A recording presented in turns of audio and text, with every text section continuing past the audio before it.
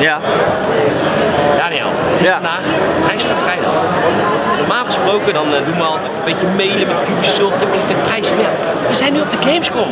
Dus ja, dacht ik van nee, dan kunnen we natuurlijk misschien wel even iets regelen, iets sneaken. Nou, Kevin van Ubisoft heeft ook even gesneakt, echt als Sam Fisher, hè, want het komt van het Duitse PR-team. Dat hebben we in Nederland nog helemaal niet. Dat moest vanaf stiekem gedaan.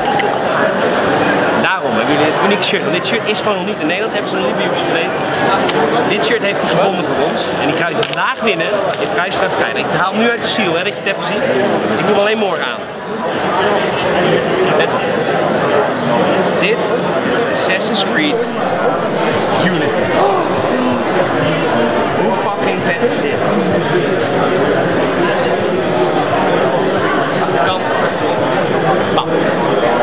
Deze kun je alleen vandaag winnen.